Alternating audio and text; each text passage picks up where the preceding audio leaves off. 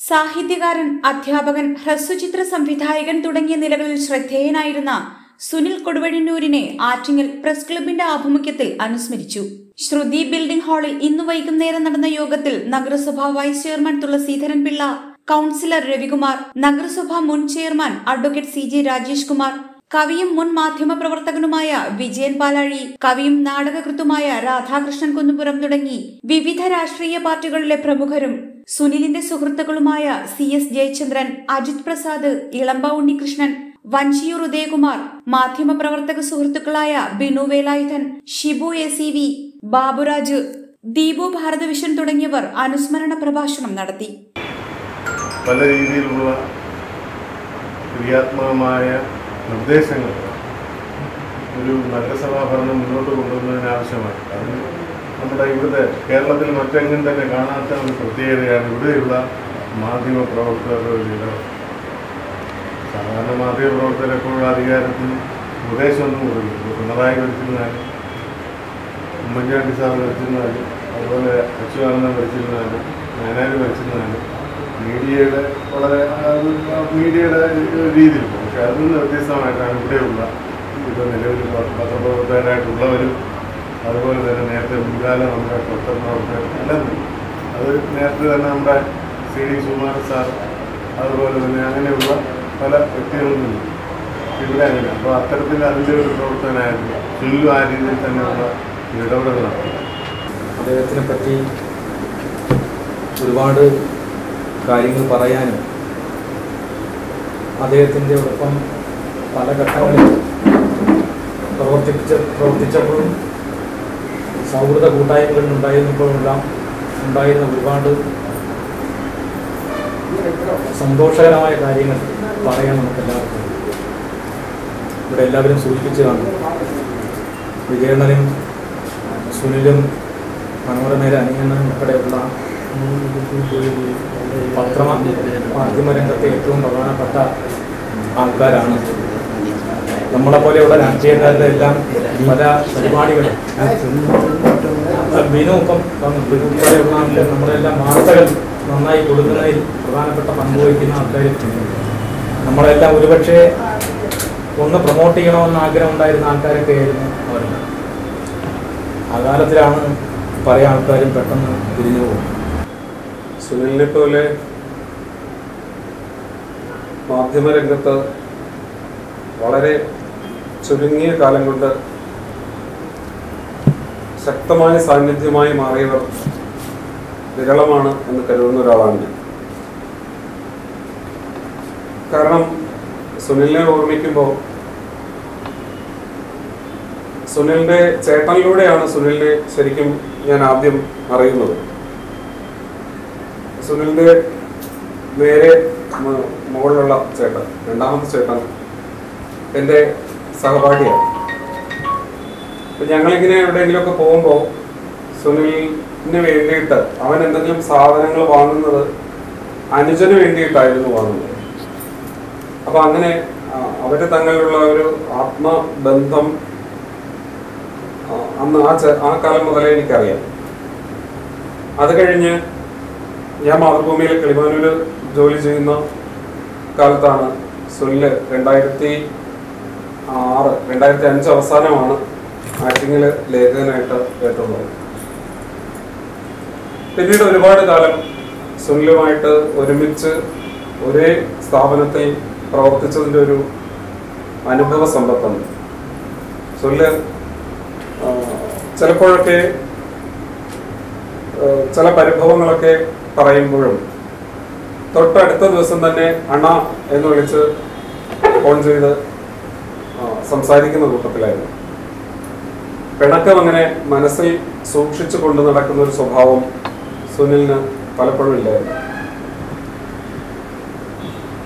വളരെ സെൻസിറ്റീവായിട്ട് കാര്യങ്ങളെ കാണുകയും ഇടപെടുകയും നമ്മുടെയൊക്കെ കുടുംബകാര്യങ്ങളൊക്കെ ചോദിക്കുകയും അറിയുകയും അതൊക്കെ മനസ്സിലാക്കി മുന്നോട്ട് പോവുകയൊക്കെ ചെയ്യുന്ന ഒരാളായിരുന്നു എന്നാൽ സൗഹൃദത്തിന്റെ ആ തീഷ്ണത സായാഹ്നങ്ങളിൽ നമ്മൾ കാണുമ്പോഴത്തേക്കും ഒരു ഒരു കുഞ്ഞനീയന്റെ ഭാവത്തോടു കൂടി ഒരു നിഷ്കളങ്ക ഭാവത്തോടു കൂടി ഇപ്പോഴും കാണുന്ന ഒരു വ്യക്തിയായിരുന്നു അദ്ദേഹത്തിന്റെ വേറിട്ട വിശേഷം എന്ന് പറയുന്നത് ഏറ്റവും സാധാരണക്കാരന്റെ മനസ്സിനെ വായിക്കുകയും അവർക്ക് വേണ്ട സഹായങ്ങൾ ചെയ്യുന്നുള്ള കഥന കഥകൾ. ഇപ്പം ചികിത്സാ സഹായങ്ങൾ എന്തെങ്കിലും ആവശ്യങ്ങൾ എന്ന് പറഞ്ഞാൽ വാർത്തകൾ പറഞ്ഞു കഴിഞ്ഞാൽ ഉടൻ തന്നെ അദ്ദേഹം ആ സ്പോട്ടിൽ പോയി കഥ എന്താണ് അതിന്റെ സാഹചര്യങ്ങൾ മനസ്സിലാക്കിക്കൊണ്ട് കൃത്യമായി അതിന്റെ കഥന കഥകൾ കൃത്യമായി എഴുതുകയും അവരുടെ ആവശ്യമായ ചികിത്സാ സഹായങ്ങൾ എത്തിക്കുവാനും കഴിയും അപ്പോൾ വേദനിക്കുന്നവനെ മനസ്സുകൾ വായിക്കുവാനും ഒരു ഒരു കഥാകൃത്ത് അല്ലെങ്കിൽ ഒരു കലാകാരന് മാത്രമേ അത്തരത്തിലുള്ള ശേഷിയുണ്ടാവും ഒരു കലാകാരന്റെ തീഷ്ണത എന്ന് പറയുന്നത് സഞ്ചരിക്കുന്നവന്റെ സഹി സഹായിക്കുന്നവന്റെ സഹകരിക്കുന്നവന്റെ മനസ്സ് വായിക്കാനുള്ള ഒരു ദിവ്യ അനുഭവം കൂടിയാണ് അത് മനസ്സിലാക്കിയ ഒരു വ്യക്തിയാണ് സുനിൽ. മാതൃഭൂമി ലേഖകനായി വന്നതിന് ശേഷം തന്നെയാണ് പരിചയപ്പെടുന്നത്. അത് വളരെ വ്യക്തിപരമായ സൗഹൃദമായി മാറി. ബന്ധത്തിന് ഒരാഴ്ച മുമ്പും ചാറ്റിങ്ങിൽ വരികയും സംസാരിക്കുകയും ഒക്കെ ചെയ്തതാണ്. മരണത്തിന്റെ അന്ന് നിസാം വിളിച്ച് പറഞ്ഞതനുസരിച്ച് ഞാൻ അന്ന് മരണം തലേദിവസം മെഡിക്കൽ കോളേജിൽ പോവുകയും അപ്പോൾ അത് വെന്റിലേറ്ററിലാണ്. രാത്രി രണ്ട് മണി വരെ അവിടെ ഉണ്ടായിരുന്നു. അപ്പോൾ ഡോക്ടറോട് സംസാരിച്ചു. അഞ്ച് ശതമാനം സാധ്യതയാണ് അപ്പോൾ തന്നെ പറഞ്ഞത്. അപ്പോൾ എന്തായാലും ഇങ്ങനെ സംഭവിക്കുമെന്ന് അറിയാമായിരുന്നു. എന്തായാലും സുനിലിന്റെ വേർപാട് വളരെയധികം വിഷമത്തോടു കൂടിയാണ് ഓർക്കുന്നത്. ഡിഗ്രിക്ക് ഫൈനലിയ പരീക്ഷ എഴുതി നിൽക്കുമ്പോഴാണ് ഞാൻ സുനിലിനെ ആദ്യമായിട്ട് കാണുന്നത്. എം എക്ക് പഠിക്കാനായി പോകുന്ന തയ്യാറെടുപ്പ്. യൂണിവേഴ്സിറ്റി കോളേജിൽ പോകണമെന്നുള്ള വലിയ ആഗ്രഹം. ചേച്ചിയെ വിവാഹം കഴിച്ചുകൊണ്ട് പോയ വീടിന് തൊട്ടടുത്താണ് സുനിലിന്റെ വീട്. അളിയന് ഏറ്റവും പ്രിയപ്പെട്ട ഒരു അനുജനായിരുന്നു അങ്ങനെയാണ് ഞാൻ സുനിലിനെ പരിചയപ്പെടുന്നത്. മരണത്തിന് മൂന്ന് ദിവസം മുമ്പ് സുനിൽ അവസാനം എഴുതി ചെയ്യാൻ വേണ്ടി വച്ചിരുന്ന തിരക്കഥ പറഞ്ഞിട്ടാണ് മടങ്ങിപ്പോയത്. ഒരുപാട് വ്യക്തിപരമായ ജീവിത വൈഷമ്യങ്ങളിൽ പരസ്പരം സംസാരിക്കുകയും പലതും അങ്ങോട്ടും ഇങ്ങോട്ടും പരിഹാരങ്ങൾ കണ്ടെത്താൻ ശ്രമിക്കുകയൊക്കെ ചെയ്തിട്ടുള്ള ഒരാളാണ് സുനിൽ എന്നെ സംബന്ധിച്ചിടത്തോളം. ഈ തീരത്തു നിന്ന് ഞാൻ അപ്രത്യക്ഷമാകുമ്പോൾ എന്റെ കാൽപ്പാടുകളുമായി അന്ന് നിങ്ങൾ എന്നെ മറക്കുമെന്ന് രവീന്ദ്ര സംഗീതത്തിൽ ടാഗോറോട്ടിക്കൽ എഴുതിയിട്ടുണ്ട്. നമ്മുടെ ആരുടെയും മനസ്സിന്റെ തീരത്ത് നിന്ന് സുനിലിന്റെ കാൽപ്പാടുകൾ മായുന്നില്ല. അതുകൊണ്ട് അവനെ നമ്മളാരും മറക്കുകയും ചെയ്യുന്നില്ല എന്നാണ് ഈ പാലം ഇന്ന് ആകുന്ന അതിൽ അവസാനം വരെ അത് പണി നിർത്തി വെക്കുമ്പോഴൊക്കെ അത് വീണ്ടും പുനരാരംഭിക്കും. സുനിന്റെ നല്ല എഴുത്ത് ഒരു കാര്യം വിചാരിച്ചാൽ അത് അവസാനം എത്തിക്കുന്നത് വരെ സാധാരണഗതിയിൽ ചിലരെല്ലാം ഒരു ഇത് എഴുതി കഴിഞ്ഞിട്ട് പിന്നെ അത് കളയും. അങ്ങനെയല്ല. അതിന്റെ അവസാനം കാണുന്നത് വരെ അതിനുവേണ്ടി പ്രയത്നിച്ച ആളാണ്. ശരി. ഒട്ടേറെ കാര്യങ്ങൾ. ഏത് അദ്ദേഹം തൊട്ടിട്ടുള്ള അതെല്ലാം ഒരു നല്ല രീതിയിൽ ഒരു ശുദ്ധ മനസ്സോടുകൂടി നന്മയുടെ ആർജവത്തോടു കൂടിയാണ് അതിനെല്ലാം അദ്ദേഹം സമീപിച്ചത് എന്റെ സൂചിച്ചതുപോലെ ഒരു നന്മ നിറഞ്ഞ മനസ്സ് ശുദ്ധമായ സമീപനവുമായിരുന്നു. സോറി മാതൃഭൂമിയുടെ ലേഖനായിട്ടിരിക്കുമ്പോൾ എനിക്ക് പരിചയമുള്ള ഒരു മൂന്നാൽ നാല് പേരായിരുന്നു ഒന്ന് കേരള കൗമുദിലെ വിജയപാല എന്റെ സുഹൃത്ത് എന്റെ സഹപാഠി. നമ്മളെ വിട്ടുപോയിട്ടുള്ള അനിൽകുമാർ മനോരമ ഒന്ന് സുനിൽ ഇവരൊക്കെ ഞാനുമായിട്ട് വളരെ വളരെ സൗഹാർദ്ദപരമായിട്ട് ഇടപഴകാൻ സാധിച്ചിട്ടുള്ള ആൾക്കാർ. അപ്പം സുനിലിനെ സംബന്ധിച്ച സുനിലിന്റെ വാർത്തകൾ ഇപ്പോഴും എന്റെ കണ്ണിൽ ഇങ്ങനെ മറഞ്ഞു പോകുന്നത് സുനിൽ കൊടുവഴിനോ എഴുതിയ പല ലേഖനങ്ങളും മാതൃഭൂമിയിൽ വന്നിട്ടുള്ളത്. എന്റെ കണ്ണിലൂടെ ഇപ്പോൾ ഞാൻ ഇവിടെ ചിന്തിച്ചപ്പോൾ ഞാൻ പലരും പലതും ഇങ്ങനെ കടന്നു പോയിട്ടുണ്ട്. നല്ല രീതിയിൽ ആ വിഷയത്തെ അവതരിപ്പിക്കാൻ സാമർഥ്യമുള്ള ഒരു വ്യക്തിത്വമായിരുന്നു ഒരു ലേഖകനായിരുന്നു അദ്ദേഹം. അത് കഴിഞ്ഞ് അദ്ദേഹം അധ്യാപക വൃത്തിയിലേക്ക് പോയപ്പോഴും അവിടെയും അദ്ദേഹം മോശമായില്ല. ഒപ്പം തന്നെ എഴുത്തിലും കലയിലും അദ്ദേഹത്തിന്റെതായ വ്യക്തിമുദ്ര പതിപ്പിച്ചിട്ടാണ് അദ്ദേഹം നമ്മെ വിട്ട് തിരിച്ചു പോയത് അദ്ദേഹത്തിന്റെ സഹോദരൻ എന്റെ വൈഫിന്റെ കൂടെ അവനഞ്ചേരി സ്കൂളിൽ ജോലി ചെയ്യുന്ന കാലത്ത് ഞാൻ ഈ വീട്ടിൽ നിരവധി തവണ പോയിട്ടുണ്ട്. അദ്ദേഹത്തിന്റെ അച്ഛന്റെ ചരമത്തിനുമൊക്കെ ഞാനവിടെ പങ്കെടുത്തിട്ടുള്ള